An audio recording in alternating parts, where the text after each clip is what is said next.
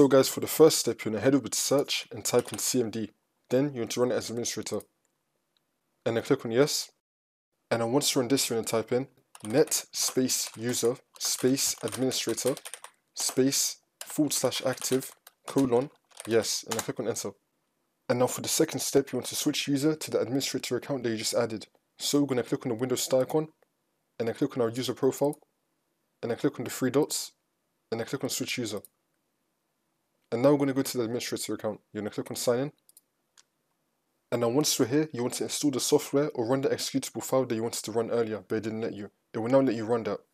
And then once you've done that, you just want to sign back into your other account. So we're going to click on the Windows Start icon, and then click on the administrator, and then click on the three dots, and then click on switch user. Now we're going to go to the other account. And now to disable the administrator account, you want to head over to search again and type in CMD. Then you want to run it as administrator.